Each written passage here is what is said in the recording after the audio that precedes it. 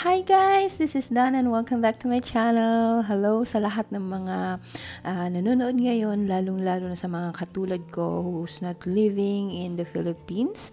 I'm sure na miss nyo na ang pandesal.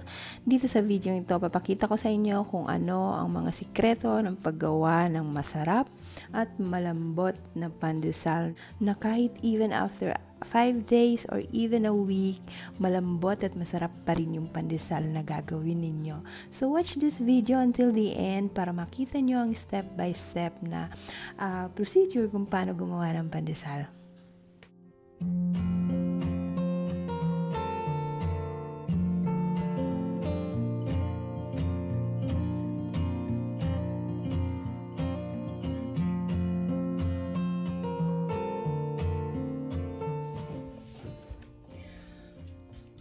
So, para sa ating uh, yeast mixture, kailangan natin ng at uh, ito, 250 ml of warm water, lukewarm water.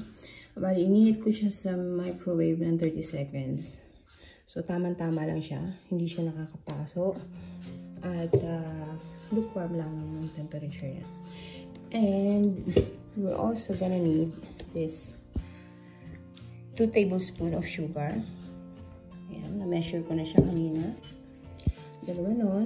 So, ilalagay natin siya. Pero hindi ko siya dyan ilalagay. Dito ko siya ilalagay sa mas malaking container.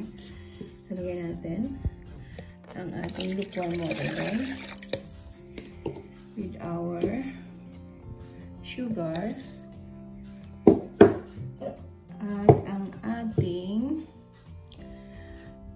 25 grams na dito sa Italy it is called uh, lievito di bira.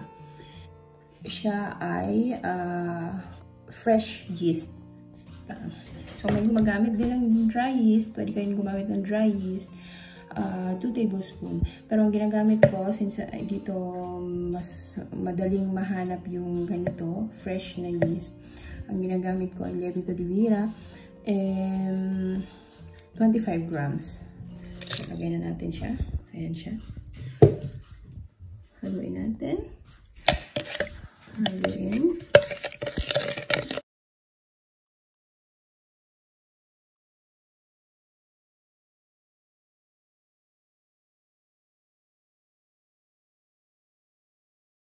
Here are the ingredients we're gonna need. Uh, 500 grams of flour, 1 third cup of sugar, 1 teaspoon of salt, 2 egg yolks, and half a cup of oil. Check natin ang ating yeast. Ayan, hindi pa siya ready ha. Pag ganyan, hihintayin natin siyang mag full blown talaga. Okay, ready na ang ating yeast. Kung nakikita ninyo, ayan. So, Tatanggalin lang natin yung hangin. And we'll continue na. First half, gagamitan natin ng ating machine. So, there is our flour.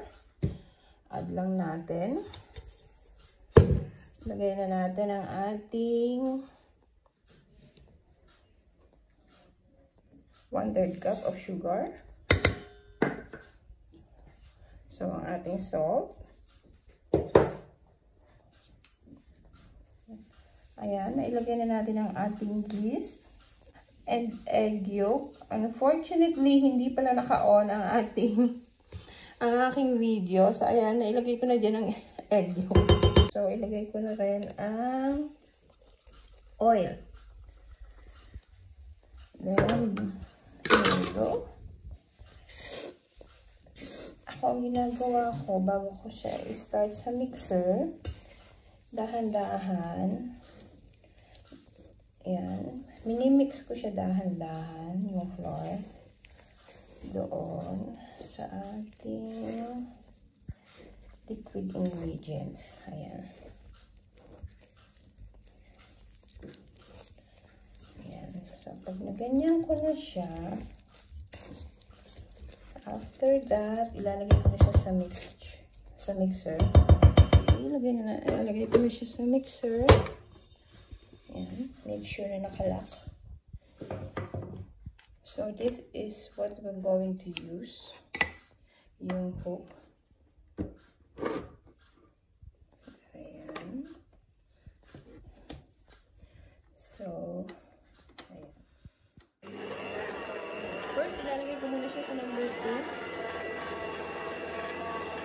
Slowly, para mix yung mga ingredients natin.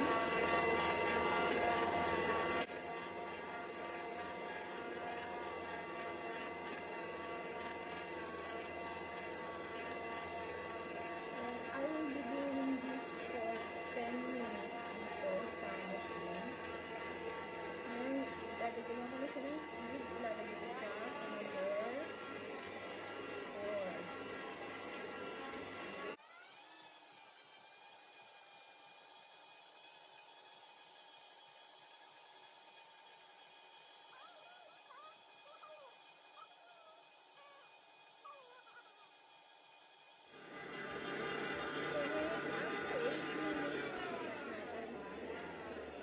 Set natin.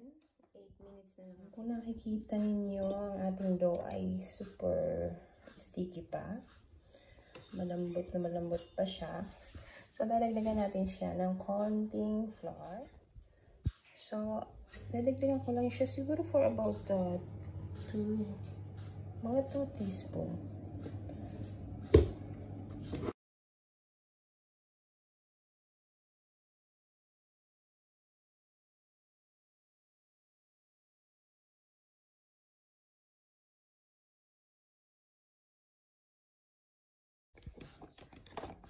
So, ayan. After 10 minutes ng mixing dito sa ating machine, mamasahin naman natin manually. Okay. Ngayon naman, magmamasa tayo manually dito sa ating working table. Ang aking gagamitin working table ay isang malaking chopping board. We're gonna spread some flour. Ganyan paglalagay. Lalagyan natin ng flour.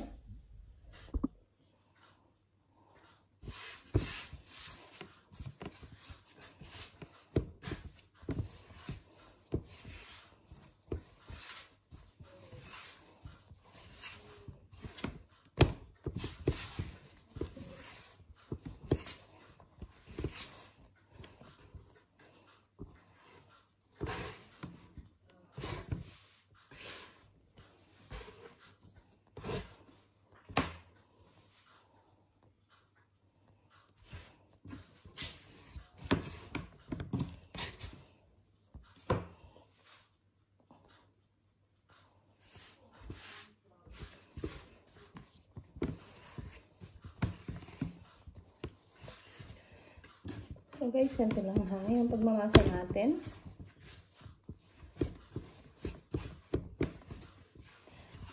I-fold and push. Ito lang ipupush natin.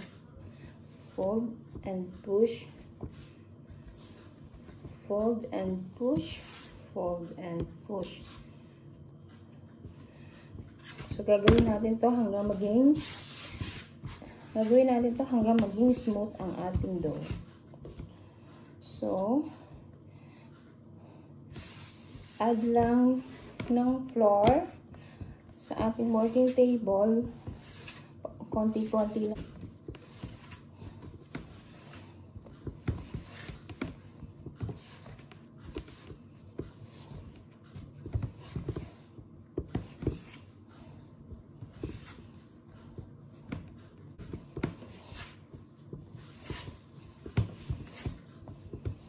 So, ayan, guys. Smooth na yung ating dough ngayon.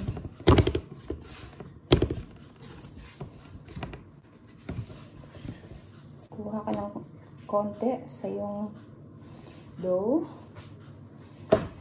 Tapos, titingnan natin kung ready na siya.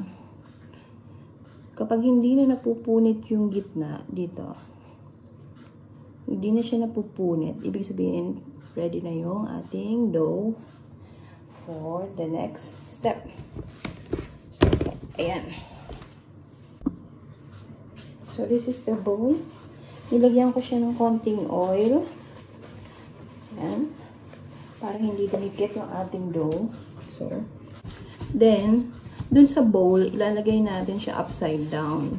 So, yung bottom, yung magandang part, yun ang nasa ilalim ng, ng bowl. Ganyan. So, ayan na siya. Ngayon naman, babalutan ko na siya ng cling wrap.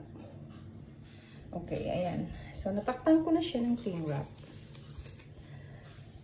And, uh, ang tawag dito sa Italy niyan ay ayan, pellicola. So, tinakpan ko siya. Tinakpan ko siya mabuti.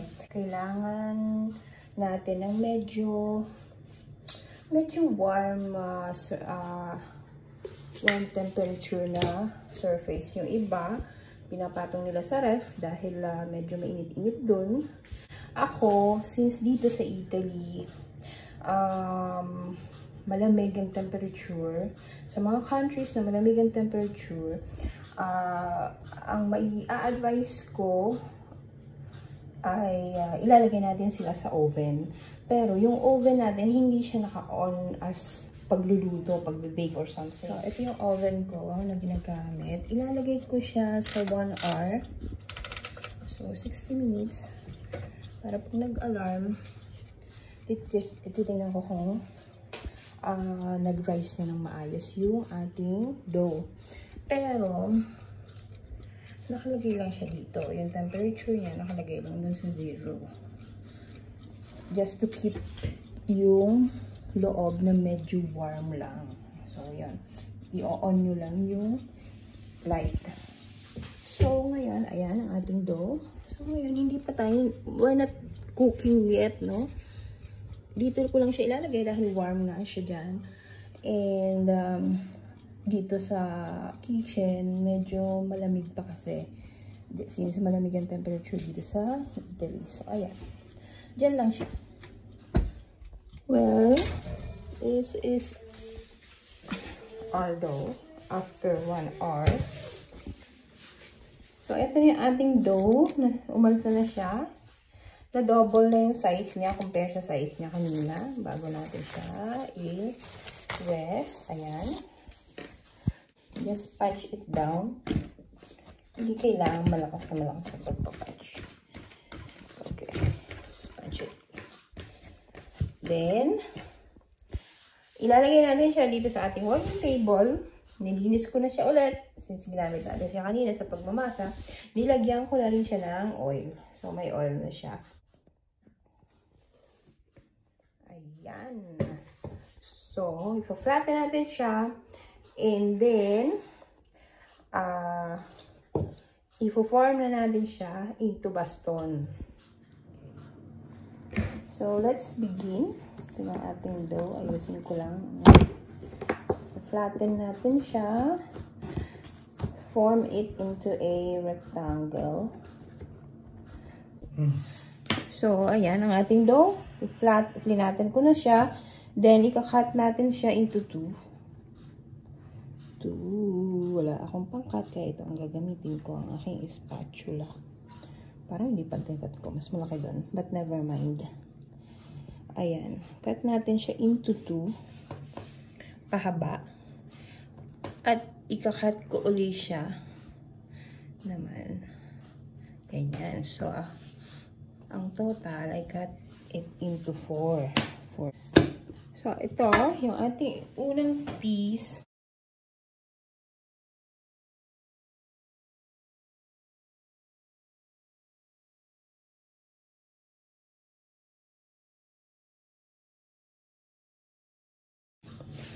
So, yeah.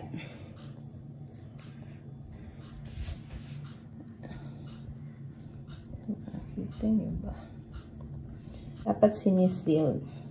Medyo tight yung pagro-roll natin kasi baka magmukha lang siyang baka mag mag-loosen siya do later. So, tinatight ko siya, ganun.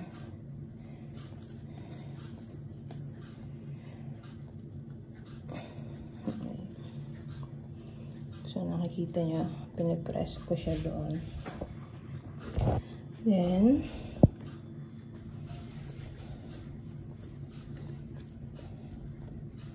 siyang ganyan. May seal, seal.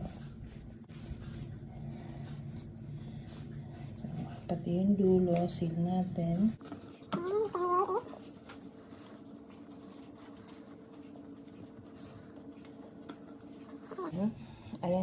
Ating first baston. Nalagay na natin siya dito sa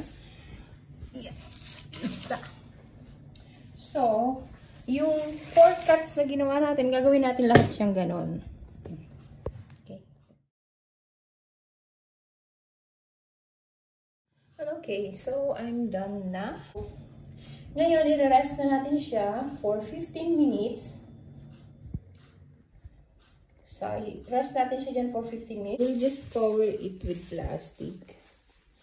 Ito, yung plastic. So, isa lang siyang uh, regular plastic na kinal binuka ko lang. So, i-cover ko siya dyan. Rest ko siya for 15 minutes. Wag, after nating, uh, after nating mapaalsa, ganito ang gagawin natin, hindi natin agad siya ikakat. Dahil pag kinat mo agad siya, ah, uh, magsishrink pa siya eh. So, i-rest muna natin siya for 15 minutes. Ayan. So, nag-rest na siya ng 15 minutes dyan. As you can see. Diba? Mas nagbago pa yung size niya. Mas umalsa pa siya. May nating pagka-cut ay yung traditional na look ng pandesal sa atin, which is yung tinatawag nilang singkit na itsura ng pandesal. And uh, we're gonna try also round shapes. Well, sa pagkakato, ang mas maganda raw gamitin kung ang cutter mong gagamitin ay made of wood. Wala ako nun. Ito ang gagamitin ko, ang aking sandok na made of wood. Gagamitin ko yung edge niya na pang-cut. So, first in, first out tayo. Yung unang ni-roll natin kanina, yun ang ating unang kukunin para mag-cut. So, ang gagamitin kong panukat naman ay aking, ang aking thumb. So, yung aking thumb, siya yung gagamitin ko pa ng cut dito. Ayan. First, cut ko muna yung dulo. Ayan. Cut ko siya dyan.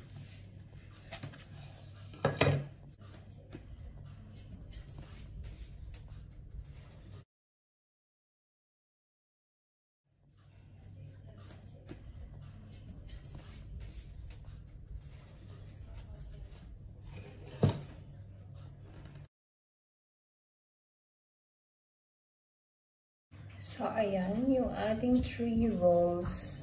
Ayan ang nagawa niya. So, ngayon naman, itatry natin gumawa ng round shape.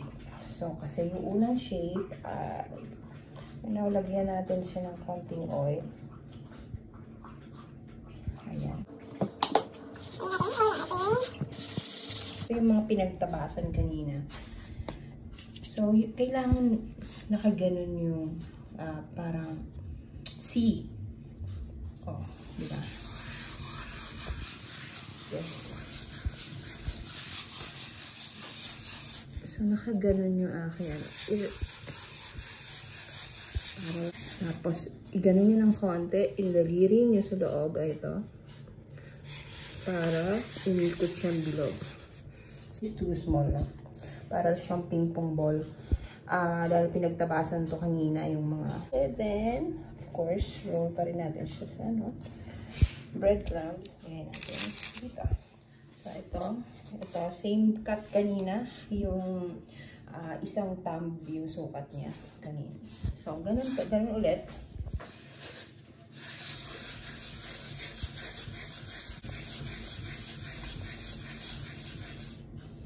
So, ayan. Bilog na siya. So, lagyan natin ng breadcrumbs rolls our breadcrumbs and then ayan ang ating second round pandesal. Okay, now we're done.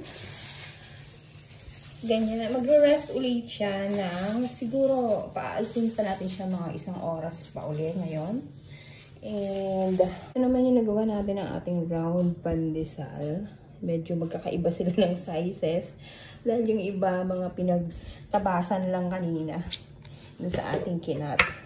Pero, same dough, kaya same pandesal pa rin ang magagawa natin yan. Round shape nga lang. Bali, i-rest natin to, tsaka yung isa kanina, yung isa sa isang tray, i-rest natin siya for uh, one hour siguro. Tingnan natin. Pala, paalsahin pa kasi uli natin siya. And, ilalagay natin to ngayon. Uh, gagawin ko ulit yung ginawa ko kaninang pagpapaalsa doon sa dough natin, yung ano, ating unang mixture, no? Gagawin ko ulit yung pagpapaalsa sa kanya sa loob ng ating oven. So, ayan. Dito ko siya ilalagay sa loob ng oven. Katulad yung ginawa natin kanina, ha? Take note. Uh, nasa zero lang siya, ha? Wala siya, hindi siya mainit, hindi ko siya pingiinit, pero naka-on yung ating uh, oven. So, yung temperature niya, hindi siya mainit na mainit. Medyo warm lang yung temperature dito compare dito sa labas na medyo malamig ang temperatura. So, ayan. Ayan sila. We're gonna leave it there for 1 hour para paalsahin pa ulit.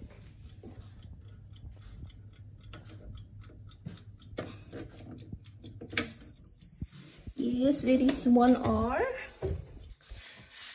After an hour ng ating pagpapaalsa, ayan, kita nyo ba? Lumakip pa yung ating dough.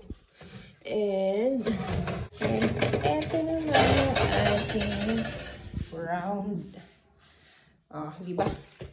Kailangan. Preheat na natin ang ating oven. Ilalagay ko siya sa,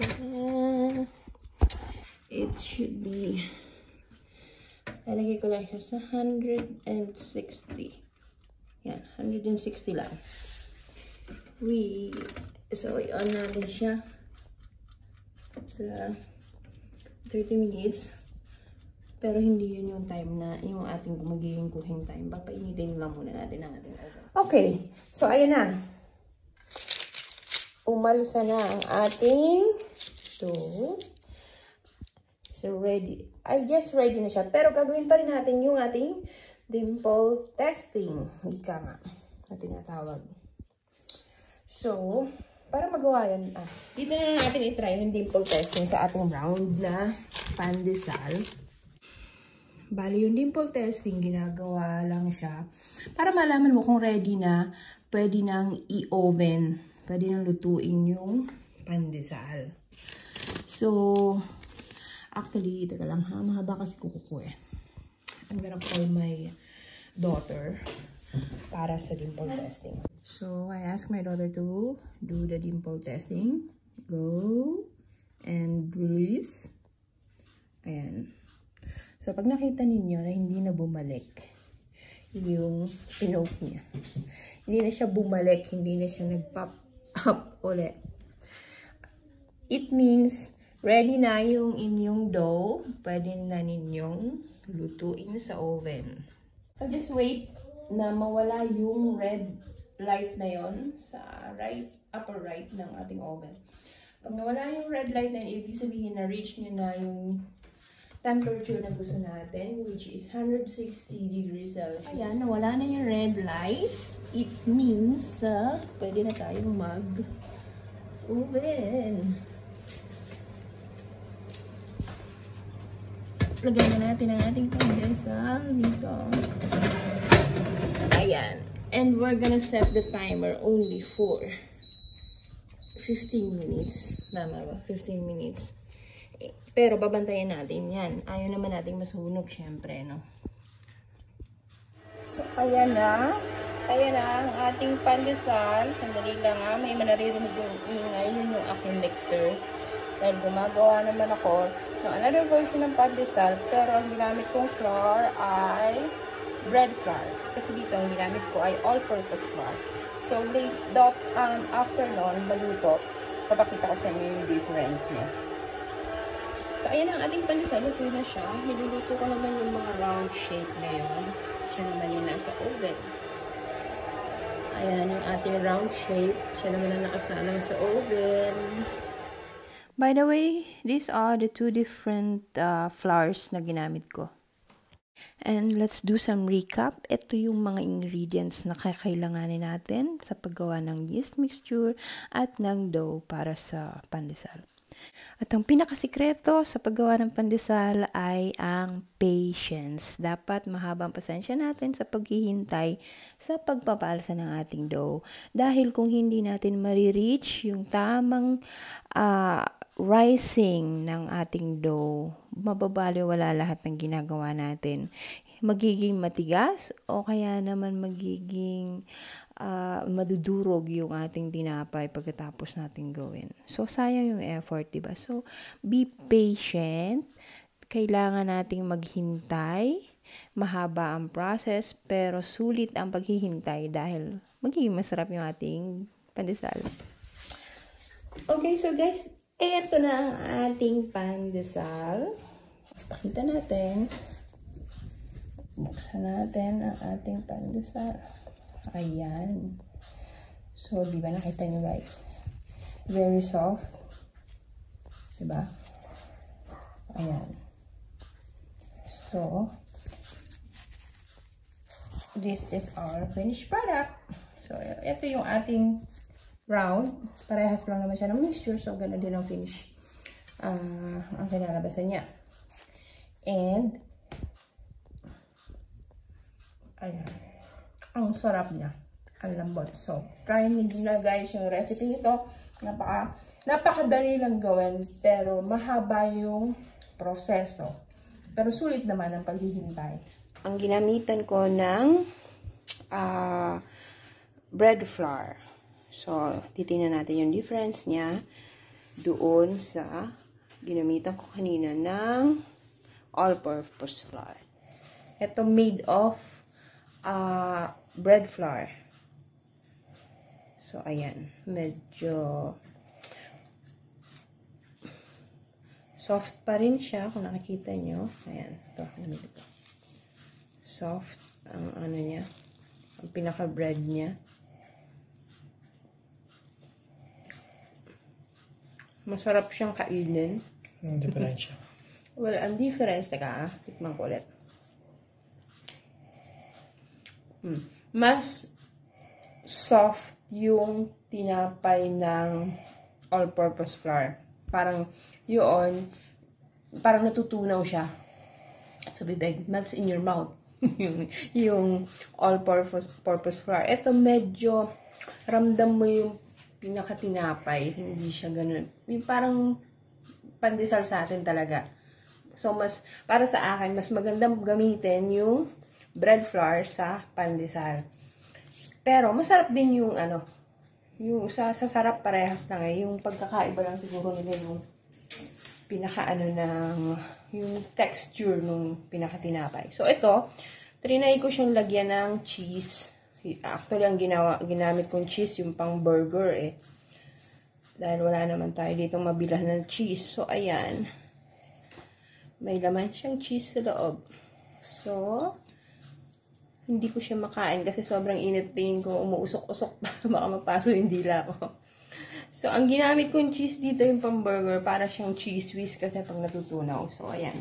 Uh, this is our padesal made of uh, bread flour. Well, maraming maraming salamat sa panonood ng video na to. I hope na na-share ko ng maayos, nasabi ko ng maayos yung dapat kong sabihin. And I would also uh, give the credits to Chef Henny Season dahil sa kanya ko napanood tong recipe na to. Binago ko lang yung amount ng sugar, nilesen ko lang. Please don't forget to subscribe. Thank you so much and God bless you all.